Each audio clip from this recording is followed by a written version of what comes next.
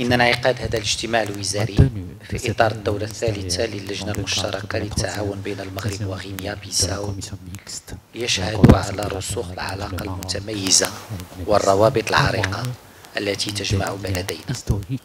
وأود هنا التعبير عن تقديرنا العالي للدور الذي تلعبه غينيا بيساو في إطار المجموعة الاقتصادية لدول غرب إفريقيا سي وجهودها الحديثة كفاعل لا غنى عنه.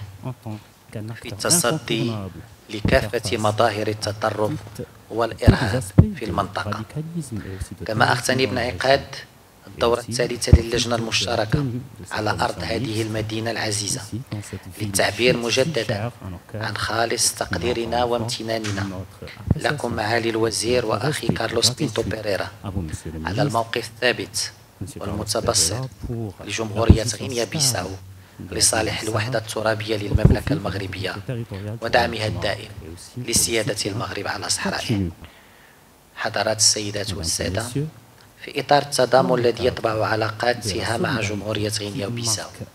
فإن المملكة المغربية تعبر عن استعدادها المستمر. لإرساء وتفعيل. آليات جديدة لتبادل وتشارك الخبرات في المجال العلمي والتقني. إضافة إلى التبادل الثقافي والجامعي معها على الشاكلة باقي الدول الإفريقية الشقيقة. وللتذكير. فلقد عرف التبادل في هذه المجالات تطورا ملحوظا مما مكن عددا من الطلبة والأطر من غينيا بيساو من الاستفادة من منح دراسية ومقاعد تربوية ومؤس في مؤسسات ومعاهد التعليم العالي العمومية بالمملكة المغربية. قيام بها في هذا الصدد. اليوم سنواقع الكثير من الاتفاقيات وأيضا مذكرات التفاهم التي ستسمح لنا بتغطية كل القطاعات. القطاعات التي تهم هذه العلاقات الحال سيكون لدينا إطار قانوني تام وكامل شامل الذي سيسمح لنا بالتتبع وأيضا أن نكمل هذه المهمة في أحسن الظروف ويمكننا أن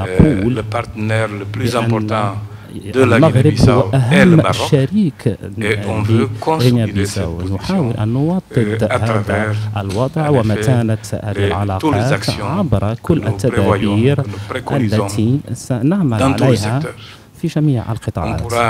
نحن نعتمد على المغرب في مجالات التي هي مجالات ذات أولوية بالنسبة لجميع النساء بما فيها الصناعات الغذائية وأيضا السياحة والصيد البحري. هذا المجال سنستفيد فيه من تجربة المغرب الواسعة وأيضا سيكون هناك تحويل لتكنولوجيات والخبرات التي هي ستفيدنا كثيرا وحتى على مستوى الاتحاد الإفريقي سنحاول أن نبني مستقبل زاهر وأيضا يكون في العمل المشترك.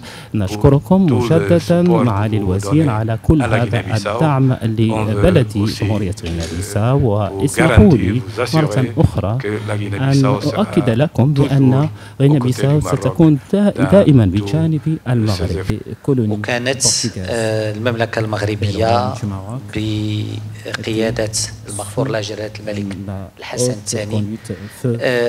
سبق إلى دعم استقلال البلدان الخاضعة للاستعمار البرتغالي ومنها غينيا بيساو. وكان حضور أميلكار كابرال في ذلك الاجتماع. نقطة تحول مهمة. في صراع تلك الدول من أجل الحصول على استقلالها إذا فعلاقتنا ماشي هي وليدة اليوم بل علاقات قديمة والتضامن ماشي بدا اليوم ولكن كان حاضر منذ كفاح جمهورية غينيا بيساو من أجل استقلالها. ثمان سنين من آخر دورة.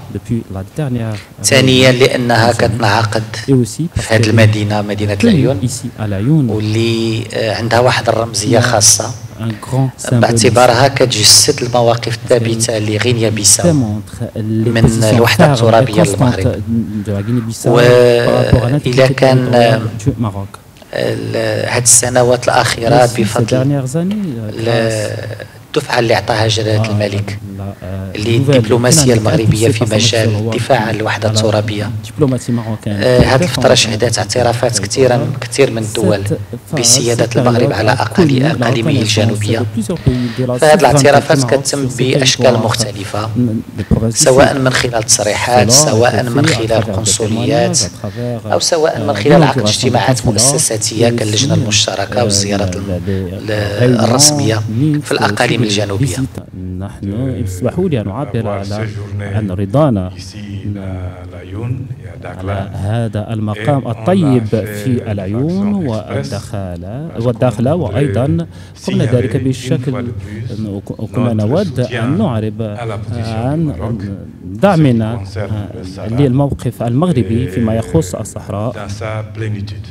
بشكل كام وكامل وتام كجزء لا يتجزأ وأيضا كحل يعني تدرسه الأمم المتحدة وهو الإطار الوحيد والفريد من أجل الوصول إلى حل منصف.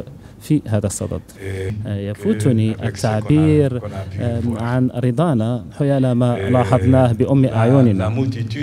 إذا هناك الكثير من الاتفاقات التي وقعنا عليها وهذا يترجم الدعم المغرب لغينيا بيساو وأيضا هذه الاتفاقيات هي ترتسي على منطق رابح رابح ولكن في واقع الأمر هو هذه الاتفاقيات عبرها المغرب سيعطينا الخبرة والتجربة آه، لغينيا بيساو ونعلم جميعا بأن من هذا المنظور المغرب أحرز تقدما ملحوظا وهو أكثر تقدما علاقة بغينيا بيساو إذا سنربح أكثر من هذه الخبرة ومن هذا الكعب العالي.